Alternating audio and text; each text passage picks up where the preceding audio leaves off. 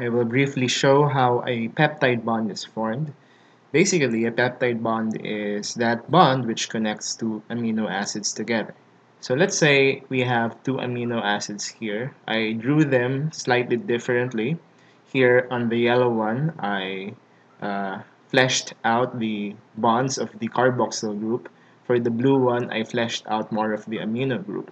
Now, if you go back to organic chemistry, there could be a possible reaction between a carboxyl group and an amino group, wherein we can assume that the nitrogen of this amino group can be our nucleophile, such that the lone pair, of course given the conditions that some, some sort of enzyme will catalyze this, can go to the carbonyl carbon and substitute this OH. This OH will be a leaving group eventually, meaning it goes away.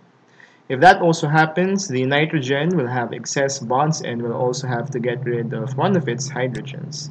Now, if that happens, you can notice that we actually got rid of HOH, water in short, and after that, we can just casually copy everything. So literally, I'm just going to write everything. So you can actually fast forward to the point I'm done drawing this, but I'll make this quick. So I have this C double bond O and then uh, take note that I have this green bond which is now the new bond to the nitrogen here.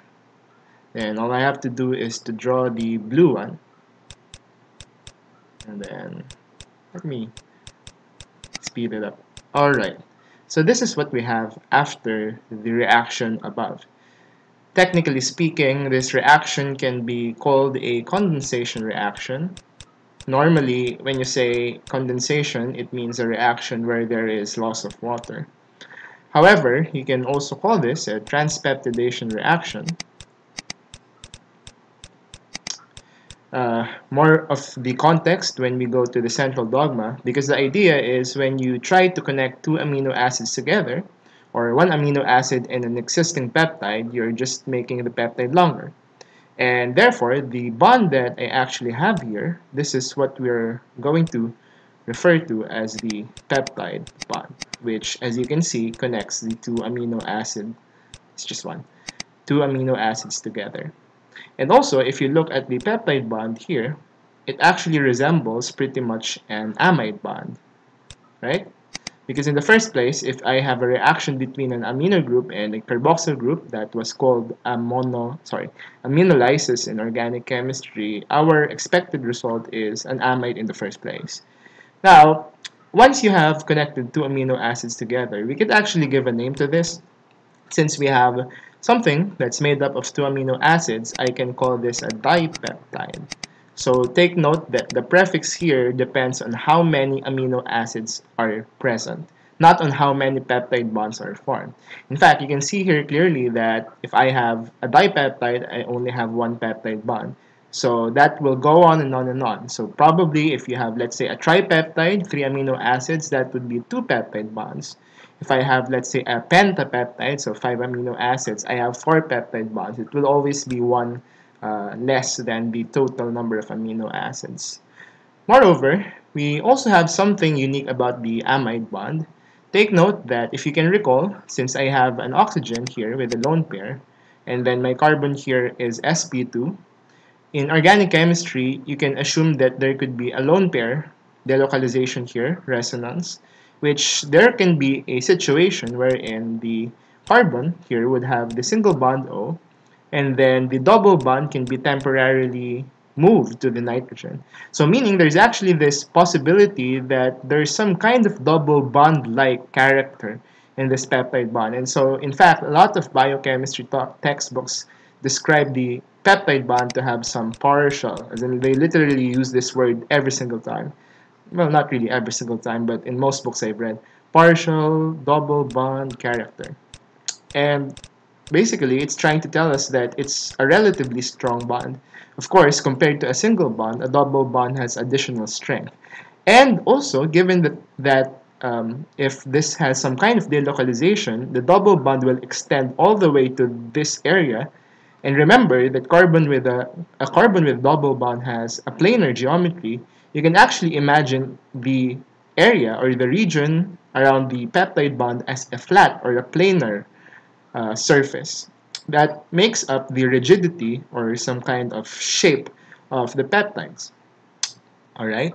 Now, since we have a dipeptide, which is the smallest possible peptide, we can actually flesh out some of the parts here which have names. So you can clearly see that in this dipeptide, one end here on the left has a free amino group, and that's the only part that will have a free amino group.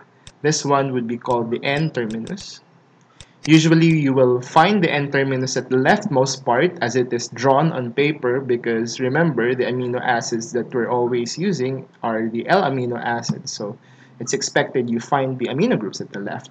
And the area the rightmost part, which has a free carboxyl group and is the only area with a free carboxyl group in the entire peptide, is the C-terminus.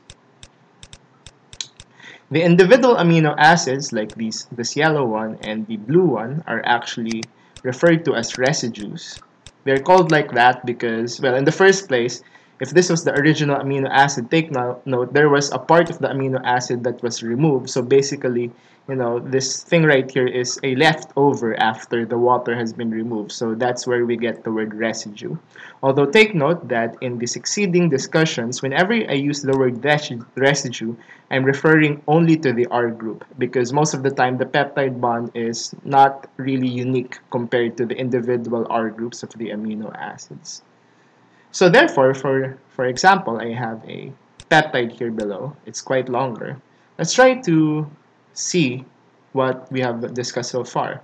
So if I ask you, how could I call this peptide based on the number of amino acids?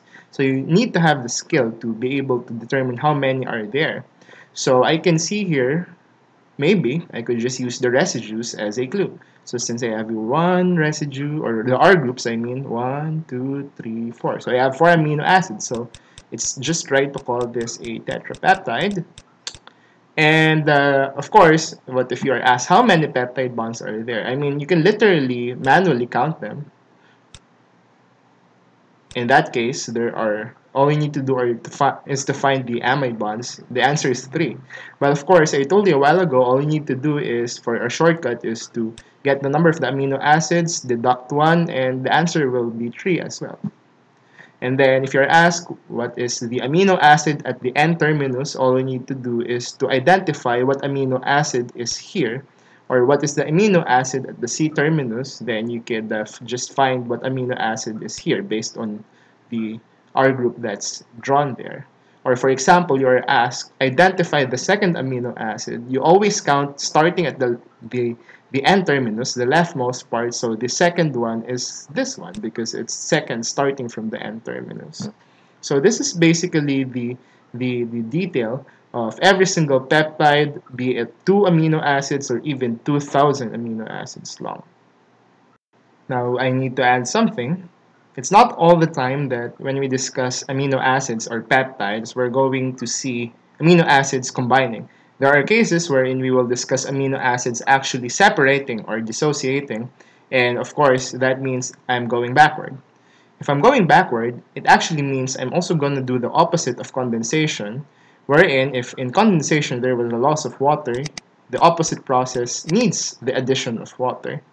And there's a perfect word that you can remember from organic chemistry wherein we use water to split something apart and that is the word hydrolysis. And that's perfect because normally in organic chemistry, the product of hydrolysis would give us, I mean, one, one of them at least is a carboxylic acid, and that's correct, right? Because if I go back, I actually form a COOH from an amide originally. So hydrolysis is the opposite of condensation. Condensation means to join, hydrolysis means to separate. One final note. Although sometimes the word peptide and protein are used interchangeably, it should be noted that the word protein is reserved for the much longer chains of amino acids. However, since textbooks vary in terms of the limit, like how would I say it's a protein and not a peptide, how many amino acids long, I'm not going to give a definite number here. It's better for you to search on your notes or on your prescribed textbook for the exact number just to make sure.